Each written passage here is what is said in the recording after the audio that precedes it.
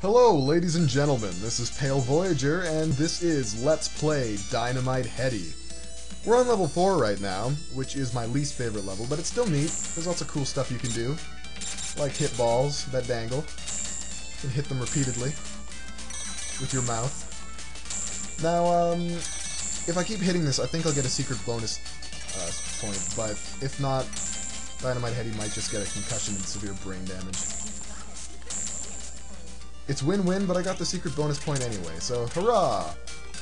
And I gotta get out of the way quickly when I hit that, because while these guys are rolling, you will take damage. Makes sense, doesn't it? I mean, this game adheres to the laws of physics sometimes. Right, Hangman? An awful excuse for a human? Or a sphere? Warning me of danger? I laugh in the face of danger. My middle name is Danger. My parents were beatniks. Oh, and this is great too. Headcase falls down, and you have about one second to react to it before you get into a boss fight. Sadistic developers.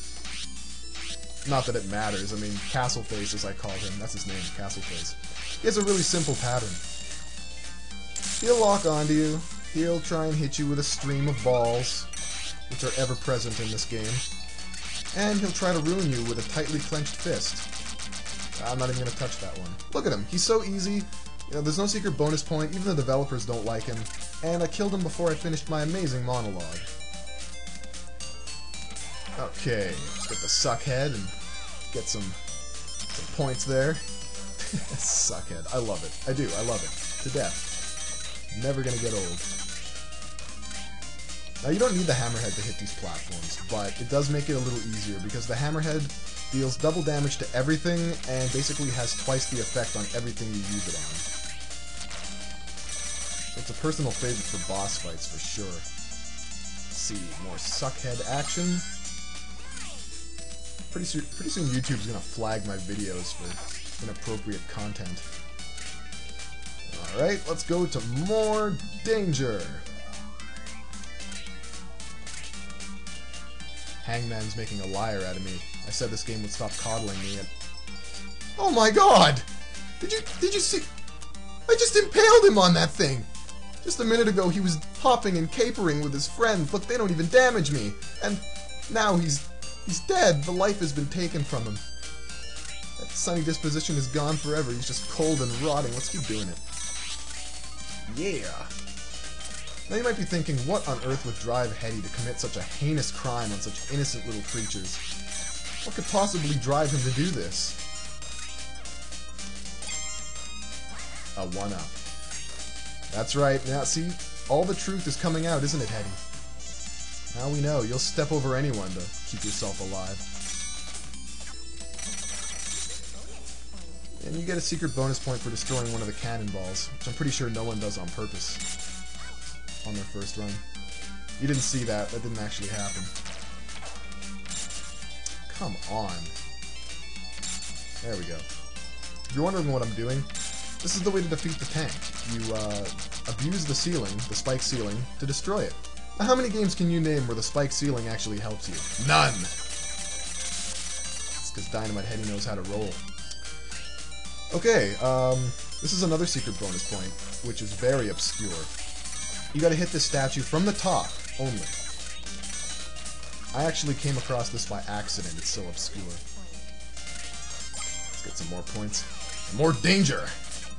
I'll be honest with you guys, from here on out, I really don't know where all the bonus points are. Uh, I've never used a walkthrough for this game, so any and all bonus points I've found up to this point are either through luck or because uh, I just found them, you know, by ex exploration. So I apologize for that, but uh, any ones that I do know about that I miss, I will inform you. Let's do a little Tarzan, Jane action right there. And there are more dangly balls here. Well, they're not really dangling, but you can still hit them. And they turn the conveyor belts around, which is good because you can only attack those guys from the back. You can only hit them from the back.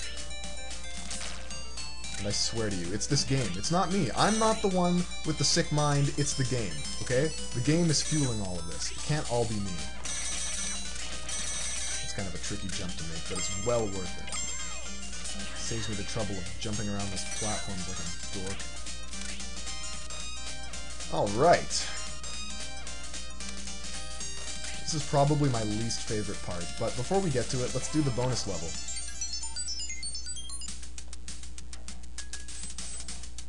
And the name of the game is 15 Shots. Oh, God.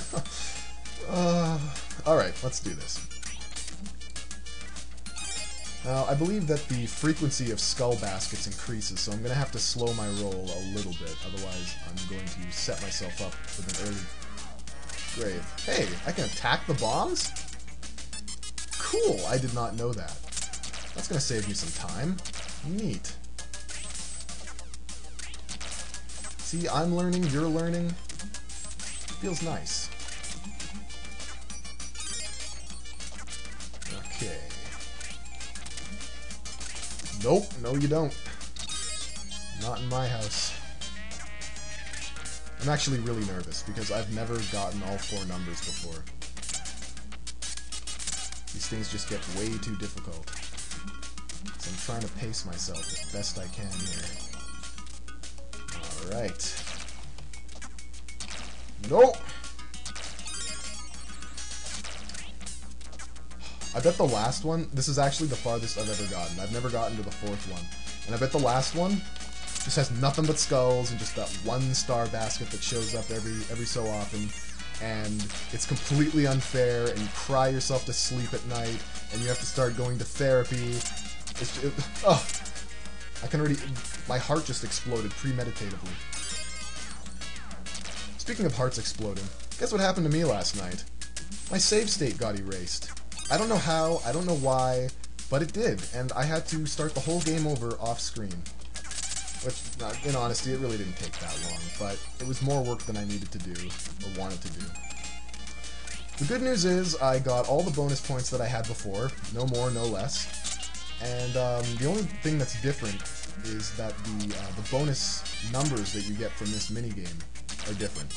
The first number is still 7, strangely enough, but the second number is now 1 instead of 2. So remember that. Don't forget it. You know, it's not like I could just go back to older videos and check the numbers myself. The burden lies on you, viewer. Don't disappoint me.